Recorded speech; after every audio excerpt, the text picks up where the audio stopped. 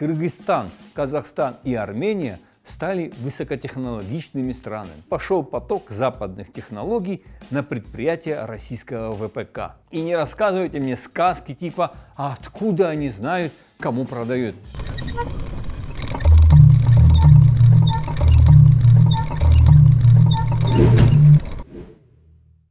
Последние полтора года в мировой экономике произошло немало настоящих чудес, подобных которым до этого никто не видел.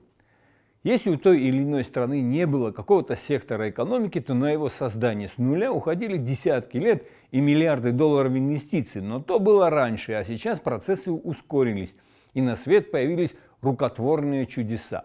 Ну, например, мировым лидером в производстве вина вдруг неожиданно для всех стала Латвия – Вроде бы латыши никогда не производили ничего, кроме бальзама. А тут вдруг такой умопомрачительный рост и всего за год. Фантастика просто. Но есть и более выдающиеся достижения, на фоне которых латвийский подвиг ничто. Ну, подумаешь, виноделие. А тут другой уровень. Кыргызстан, Казахстан и Армения стали высокотехнологичными странами.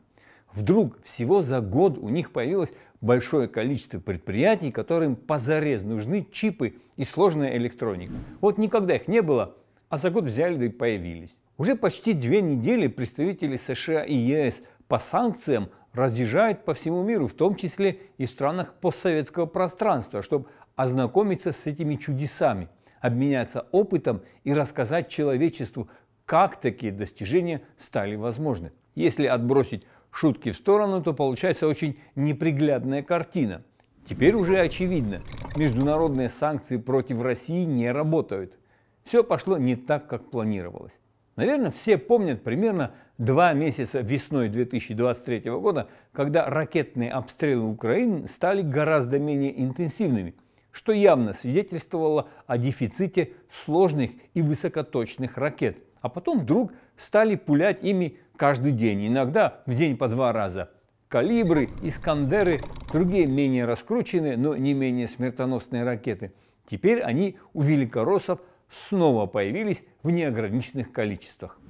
Вероятно, в период ракетного голода они подсуетились, подкупили кого надо, разработали новые схемы и пошел поток западных технологий на предприятия российского ВПК. Представители ЕС и США по санкциям ищут решение проблемы там, где проще. Ездят по странам прокладкам, вроде Армении и постсоветской Центральной Азии, лидеры которых все отрицают. Да вы что, какие такие схемы? Мы ни в чем не участвуем, вот вам крест.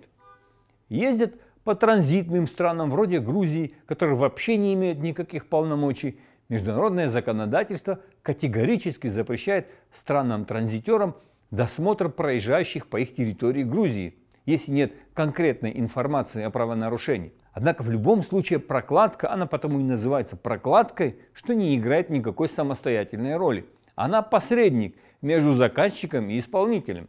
С заказчиком все понятно, а вот исполнители – это очень интересная история.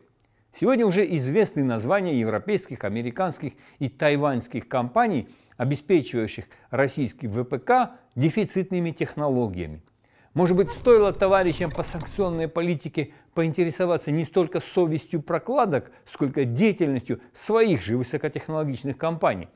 Судя по тому, что калибры и искандеры исправно летают почти по расписанию, а информации о судебном приговоре в отношении менеджеров компаний ничего не слышно, конвейер продолжает работать. И не рассказывайте мне сказки типа «А откуда они знают, кому продают?» Все они прекрасно знают, а если не знают, то догадываются.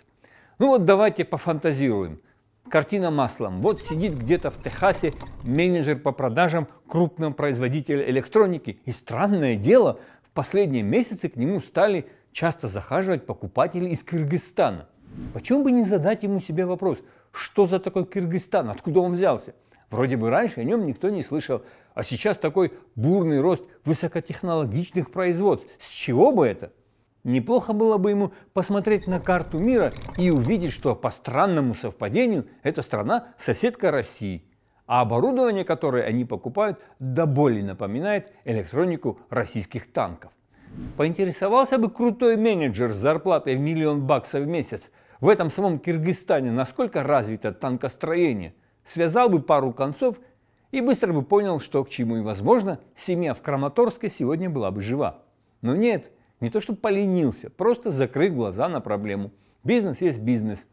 Дальше ценное приобретение идет в Литву и Латвию, страны, члены ЕС, давние соседи и враги России. Уж они-то должны понимать, что к чему. Понимают. Ну и они в деле. Получают доход и тоже закрывают глаза. А жаль, если бы приоткрыли их хотя бы наполовину, то увидели бы, что суда с военными технологиями, купленными якобы для Казахстана и Кыргызстана, туда даже не заезжают и плывут прямо в Россию. Никому нет дела до убитых украинских детей. Международное сообщество занято тем, что запугивает прокладки, но при этом спокойно позволяет своим компаниям помогать армии насильников и детоубийц. Вот такие в наши времена санкции.